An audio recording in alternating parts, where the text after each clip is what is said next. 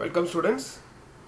Today we are going to see the next topic on our fifth unit New Engineering Materials in the subject PH 8251 Material Science.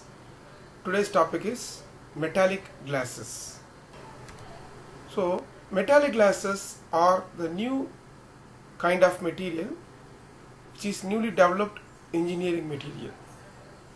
Metallic glasses shares the properties of both metals and alloys. So we all know that in the atomic level metal or alloy are crystalline nature that implies their atoms are arranged in some regular pattern that extends over a long distance. In contrast, in the case of glass, it is in amorphous nature. They are non-crystalline, they are brittle and transparent solid which will not have long range of atomic orderness. So, metallic glasses or metal alloys which is in amorphous form. These metals will not have long range of atomic order at the same time they will possess ductility, malleability, mechanical strength like a metals. That's why these materials are called as metallic glasses. The major advantage of such metallic glasses are that they are generally homogeneous in composition and they will offer strong and superior corrosion resistance and there will not be no worry about crystalline imperfections. So that will provides you multi-oriented advantage and applications. So are how formed. this so before understanding that we should understand the phenomena called glass transition. So we are all uh, come across glass. So glass is kind of state what we are achieved by rapid cooling of a molten state solid. So the glass transition is a reversible transition in which amorphous materials form a hard and relatively brittle glassy state and forms a viscous and rubbery state as temperature is decreased. And amorphous solids that exhibit a glass transition is called glass in reverse transition and this will be achieved by supercooling a viscous liquid into glass state then it will be called a vitrification. So glassification is nothing but achieving a glass state material from amorphous solid by rapid cooling. At the meantime, if such brittle and hard material is achieves achieved from the more viscous liquid means such a process is called vitrifications. So these two are uh, pinpointing process which will shows you the rapid cooling process. So cooling is a very important factor here. If we allow a molten state material to cool slowly, that will provide enough amount of time for converting into solid that will provide more time and energy for atom to arrange in a uniform pattern then that will result in a crystalline structure. At the meantime if this solidification process is so rapid then this will resulting in glass. So a molten state metal which is transformed into solid very fastly means that will result you the material class called metallic glasses. So the liquid upon reaching the glass transition temperature Tg solidification results the metallic glasses. So the we can see two curves in this diagram. The curve one represents the solidification process of a normal metal with low cooling rate that will result you a crystalline structure but when we cool the molten state metal rapidly to a temperature called TG, glass transition temperature, there the glass C, glassy state will be retained. So the temperature at which the metal in a molten form transform into glass is known as glass transition temperature. This glass transition temperature for a particular metallic glasses may vary between 20 degrees Celsius to 300 degrees Celsius. So to achieve this metallic glasses and to get this peculiar property, material glasses are made by cooling the molten metal, metal rapidly at the rate of more than 2 into 10 to the power 6 Celsius per seconds. So during this process of solidification, atoms do not have enough time to rearrange for crystalline nucleation. This tendency for material to form a glass while quenching is called glass forming ability. So this glass forming ability is different for different materials and it will be totally depends on the composition of the material what we are trying to produce into a glass. So the glass forming ability is the key factor for converting any metal alloy into a metallic glass. So the position of nose in the TTT diagram is very important for uh, crystallization of a undercooled melt, melt is a measure for the glass. So this nose which is appearing in the TTT diagram and its area is a very important factor we have to consider to analyze the uh, the glass forming process and the materials glass forming ability. So if your material want to be converted into a glass to form a glass cooling must be so fast that crystallization can be avoided so when we allow the molten state material from its melting temperature to very low temperature less than the glass temperature we have make a transition means that it is possible to achieve a metallic glass. So this is a fundamental process. So key process for achieving the metallic glasses is cooling the low uh, high temperature molten state material into very low temperature in a very fraction of seconds and that temperature taken to be should be less than the glass transform uh, glass transition temperature so this is the process we are going to uh, adopt for producing the uh, metallic glasses now let us pass on to the next topic the types of metallic glasses so depending on the constituent element we are using for the production of metallic glasses.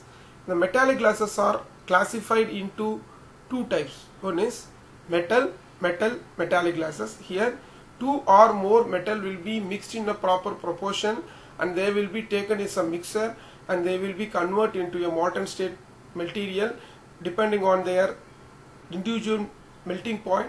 After all the materials are got melted, they will be suddenly cooled to low temperature to obtain the uh, metallic glass form of that particular alloys. Second type is metal metalloid metallic glasses where the people will mix the metal element with metalloid, metalloid elements such as iron, cobalt, nickel metals are mixed with boron, silicon, carbon, phosphorus as a metalloids that will produces the second class of metallic glasses called metal metalloid metallic glasses. So as we told earlier, the preparation of metallic glasses are achieved by a key point called rapid cooling. So metallic glasses are made by cooling a molten material rapidly. So during this process of solidification, the atoms do not have enough time or energy to rearrange themselves to create a crystalline nucleation as a result as a result they will not form any crystalline structure so this is the principal uh, process we are adopting for production of uh, metallic glasses so we are having so many uh, rapid cooling techniques available for the production of uh, metallic glasses they are spraying technique melt spinning technique laser deposition methods. So in this three, in this particular class, we are going to discuss about rapid cooling technique by using melt spinning. So melt spinning process technique involved in the preparation of metallic glasses are illustrated in this diagram. So fundamental principle of this process is a thin stream of molten alloy is made to dip on the rotating wheel which is made up of copper maintained at a liquid nitrogen temperature. This causes rapid solidification of metal. Let us see the construction and working of this setup.